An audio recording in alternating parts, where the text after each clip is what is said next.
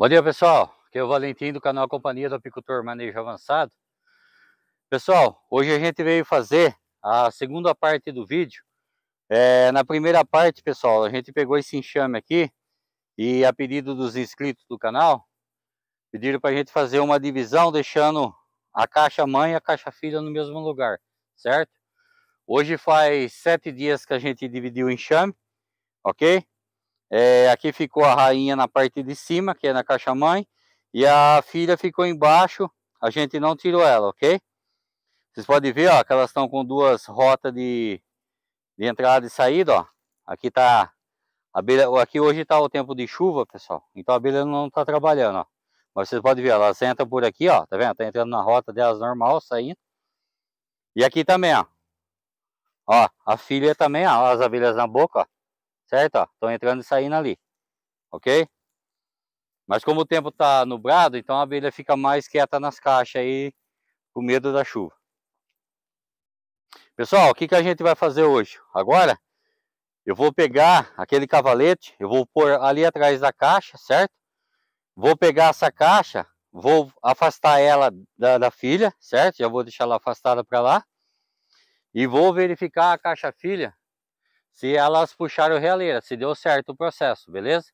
Aí vocês acompanham comigo aí.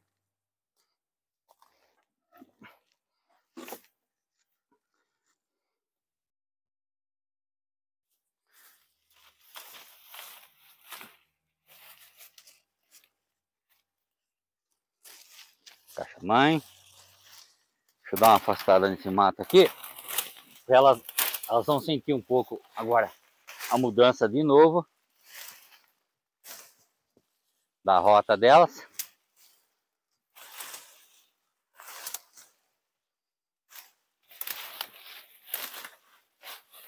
Aí eu quero que esteja livre aqui para elas poder entrar e sair aqui numa boa.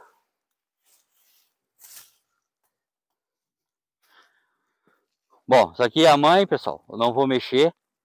Ok? Ó, eu vou pôr ela aqui certo? Isso aqui já é o processo de separação delas, ó. Certo? Elas já vão vir, ó, já vão entrar ali, ó. Aí eu já separei a mãe da filha. Agora eu vou olhar a filha, para ver se elas puxaram realeira, se deu certo o processo aqui, ok?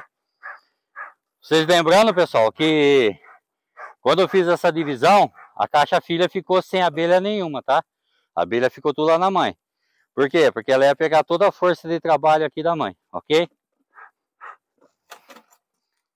Aí vamos abrir aqui para ver como que tá.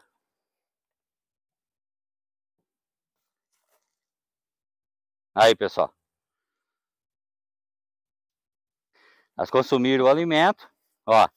Estão ocupando, ó, um, dois, três, quatro quadros, ok? Deixa eu encostar para cá. Que agora a gente vai procurar aqui o que? Realeira. Aí, tão bravinha. Ó. Ter uma fumacinha bem de leve, só para ela acalmar.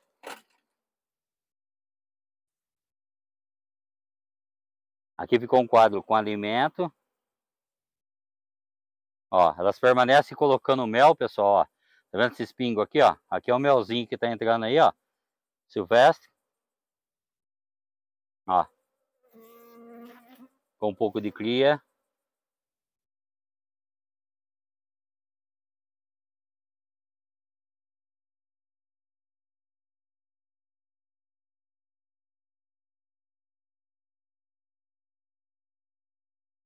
Via fechada.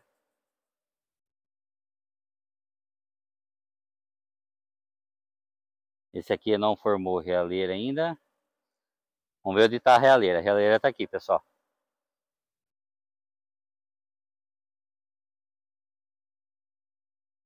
Aí, pessoal. A realeira. Ela puxou uma realeira aqui, certo? Ó. Formou uma realeira aqui do lado. Vamos ver do outro lado. Aqui, pessoal. Aqui ela formou mais duas, ó. Formou uma aqui e outra aqui, ó. Três. Essa aqui tá muito ruim, ó. Tá vendo? Essa aqui eu vou descartar ela. Olha lá. Olha a larva, ó. Já joguei fora. Vou deixar essa e essa aqui por enquanto, ó, duas, beleza? Mas por que deixar duas? Caso, caso alguma falhe, a outra nasce, ok? E se nascer as duas, elas vão brigar e vão decidir quem que fica sendo a soberana aí do enxame. Aí, pessoal, já tem presença de zangão, ó, para fecundar com ela assim que ela nascer, ó. Ok? Isso é importante, eu sempre falo para vocês. Aí, ó. Tranquilo. Beleza? Aí, deu certo o processo, agora é só esperar nascer essa essa essa princesa, fazer o voo de nupcial, fecundar e começar a e continuar aí com com o seu processo natural de desenvolvimento do enxame, beleza? Alimento elas têm, não vou colocar mais agora.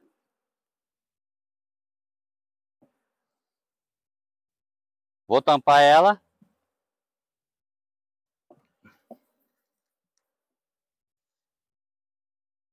Aí, ó. E esperar ela nascer. Aí daqui, pessoal, daqui uns, uns 10 dias, eu volto aqui de novo para conferir se a, se a princesa nasceu, se ela fez o voo nupcial e se já tem postura dela de ovinho de um dia, dois dias. Aí, aí eu vou certificar que deu certo o processo, né, que ela conseguiu fazer o voo, que o enxame vai continuar. Por que, que é importante, pessoal, você fazer essa revisão agora com sete dias e depois com dez dias? Com sete dias, pessoal, seis ou sete dias, para verificar se deu certo, se ela puxou realeira, certo? Porque se ela não tivesse puxado realeira aqui, o que eu ia ter que fazer? Ia ter que pegar um quadro de cria de outra abelha, trazer com o ovinho de um dia ou dois e colocar aqui para ela fazer o processo novamente de puxar de realeira e alimentar. Mas como deu certo, agora eu só tampo a caixa, espero aqui mais uns uns 10 dias eu volto, e aí eu vou ter a certeza que ela fez o voo nupcial, se ela fecundou, se ela já está colocando postura. Se ela estiver fazendo isso, colocando postura, dando certo, aí depois é só entrar com o processo de alimentação nela para crescer o enxame, beleza? Ó, aqui, essa caixa mãe, eu já não vou voltar lá mais para cá, ó, tá vendo? Eu não vou voltar mais, ó. Onde ela tá aqui, ela fica, ó, eu já separei ela da filha. E olha aqui, ó. Estão trabalhando normal, ó. Filma aqui mais perto, vem por ali. Aí, pessoal. Acho que dá para vocês verem, ó. Tá vendo, ó? Elas estão trabalhando normal, ó, entrando na caixa normal, não atrapalha em nada. Se eu quiser deixar essa caixa mãe agora aqui fixa, ela pode ficar. Eu não vou remover ela, vai ficar aqui. Depois eu vou afastá-la um pouquinho mais para lá, ainda mais um metro. Deixar um metro afastado.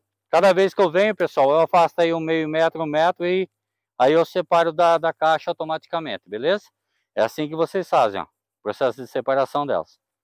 Vocês veem que é um processo simples, que dá certo, ó. Não precisa mudar a caixa longe. E é um processo fácil. Beleza, pessoal? Então essa foi a segunda parte para mostrar para vocês. Depois eu vou fazer a terceira parte, mostrando aí o voo nupcial dela aí, né? A fecundação e o resultado da, do voo dela aí, beleza? Pessoal, deixe seu like, deixe seu joinha, compartilhe nossos vídeos, se inscreva no canal aí, para que o canal cresça e com a ajuda de vocês, para que a gente traga sempre bons vídeos, ensinando vocês na prática aí na apicultura, beleza? Até o próximo vídeo, pessoal.